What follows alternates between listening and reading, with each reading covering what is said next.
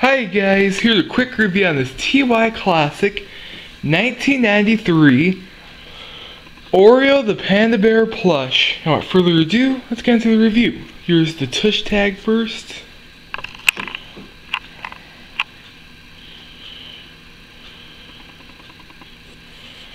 Here's the back of it. Ty Inc. Copyright 1993. Now here's the hang tag. There's drawing on it. That's weird. Let's open it up. And then let's see what's in.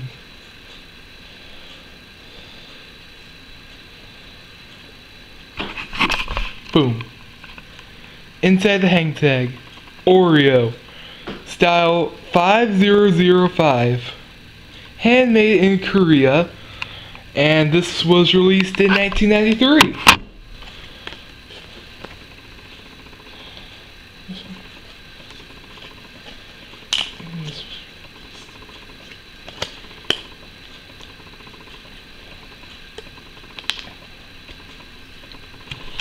And the, the plastic nose, the eyes.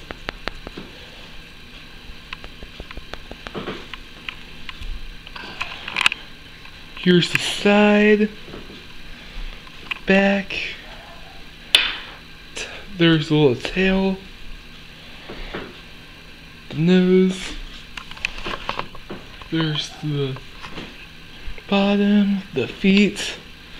And yes, this is in great shape after 27 years or so. So, what a deal is that? And, alright folks, that's the quick review on this TY Classic 1993 Oreo the Panda Bear plush. Alright guys, bye.